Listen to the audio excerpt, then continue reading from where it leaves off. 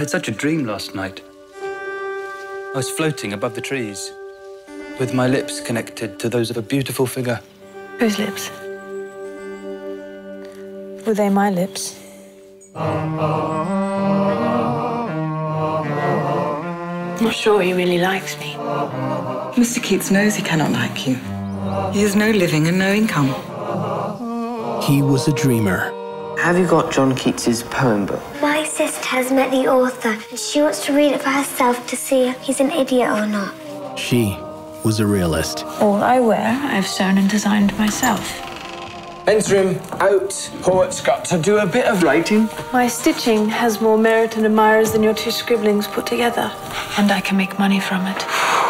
But every word he wrote inspired the rapture of first love. A thing of beauty is a joy forever. Its loveliness increases, it will never pass into nothingness. This fall, from Academy Award winner Jane Campion, comes a romance that would live forever. I get anxious if I don't see her. When I don't hear from him, it's as if I've died, as if the air is sucked out from my lungs.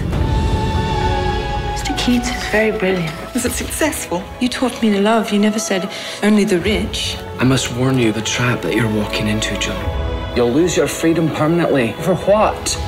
You are already the source of so much gossip. Apparently, there is nothing I can do to persuade you of the gravity of the situation. We must cut the threads. No, I can't. I never will.